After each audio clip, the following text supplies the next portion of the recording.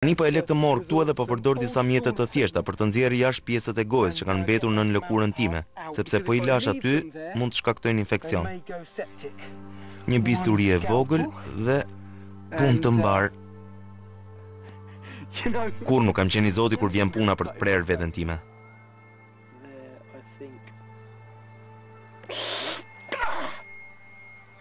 Ah, i kapa.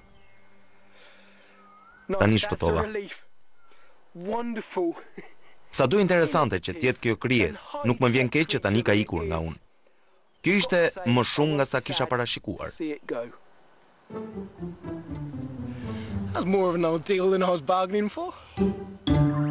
Ditës time në fermë po i vjen fundi, por para se të largohem, kam edhe një takim me një banor leshator vendas, edhe nuk e kam të vështirë ta gjej sepse në Australi, ka më shumë dele se sa në çdo vend tjetër të botës.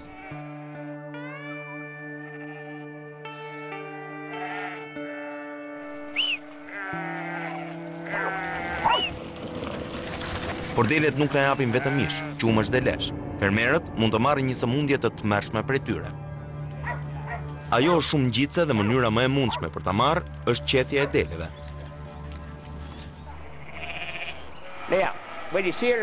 Kur qeth një dele, duhet ta mbash mes këmbëve. Duhet shtrënguar fort që të mos ikë. Po. Ky kontakt fizik mund të shkaktojë transmetimin e sëmundjes nga delja te fermeri. Sëmundja quhet dermatit pustular ose zgjebe e gojës dhe kur kalon tek njeriu, pasojat janë shumë të shëmtuara. A merr pagesë vështirësie për rrezikun? Pagesa është dy dollarë e njëzet e shtatë cent për çdo dele të qethur. Po një birrë sa kushton? Një birrë është tre dollarë e tetëdhjetë cent. Pra, duhet të qethësh dy dele për të pirë një birrë? Po. Hej, Mike, pjesën e fundit po ta lë ty. Të them të drejtën e kam pak me frikë. Duhet marrë parasysh shumë gjëra. Kur vjen në Australi, duhet t'i provosh gjërat australiane. Çfarë duhet të bëj? Dy këmbët e pasme vendosja mbi këmbët e tua. Po, i futa. Bravo! Zgjebja e gojës shkakton ulçera shumë të rënda në buzët e deles. Ajo shkaktohet nga një virus i familjes së lisë. Virusi është i pranishëm tek plagët. dhe ne mund ta marrim jo vetëm nga delet, por edhe nga leshi i qethur që ka rënë në tokë. Nëse biem në kontakt fizik me të dhe nëse e kemi lëkurën të çarë në vendin e prekjes, atëherë mund të marrim zgjeben e gojës.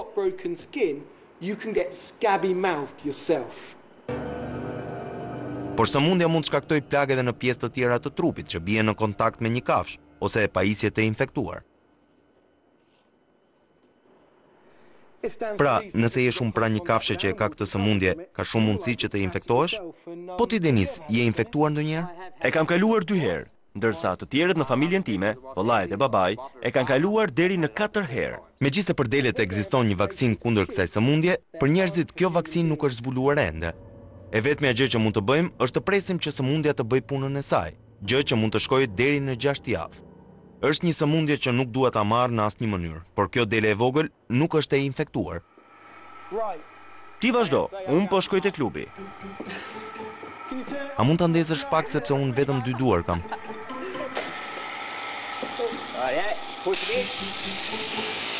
Mbaje pak më afër lëkurës. Po tani, e kam mirë? Nuk e di se kush është më nervoz, unë apo delja.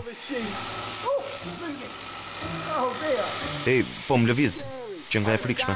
Po të vlerësoj me notë nga njëshi deri tek dhjeta, ti merr zero pikë pesë. Me këtë profesion i bie të vdes për bukë. Po. Edhe sa duhet të vazhdoj derisa të vijë koha për një birrë? Mendon se ke mbaruar? Besoj se duhet të kem mbaruar. Shpresoj. Atëherë nuk e meriton vendin e punës. Është i vetmi rast që jam i lumtur që më refuzohet një vend pune. E kuptoj që nuk mund të jem krenar për punën që bëra. Për herë të parë po më vjen keq për një dele. Bye bye. Nuk nxora dot aq lesh sa për të fituar një birrë. Por kështu është më mirë sepse nuk mund të ngas këtë mjet pasi të kem pirë. Qenka e madhe, po vë në provë formën origjinale të transportit në këtë vend. Deve. Këto deve janë sjellë në Australi për të transportuar aventurierët nëpër shkretëtirë deri më sot nuk kanë provuar ndonjëherë të kalojnë një lumë. Ngrihu, Lucy. Ky nuk po më duket shofer i mirë. Ec, Lucy, ec, ec, Lucy, ec, u nisëm.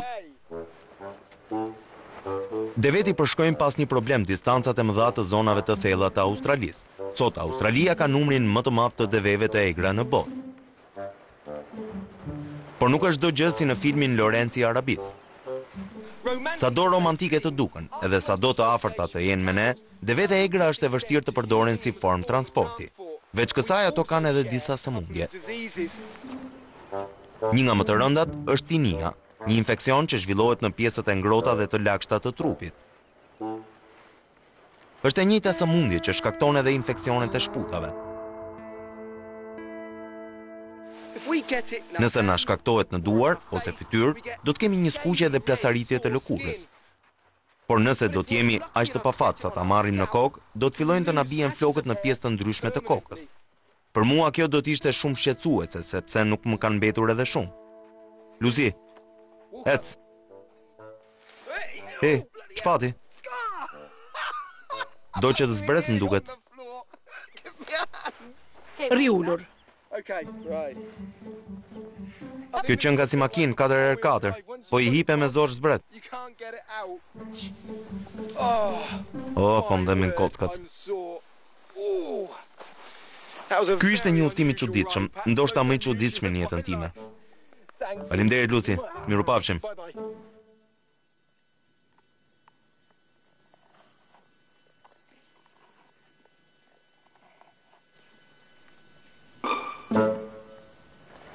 Kur kolonët e parë erdhën në zonat e thella të Australisë, Nuk patën thjesht probleme me kruarjet e lëkurës dhe rënien e flokëve.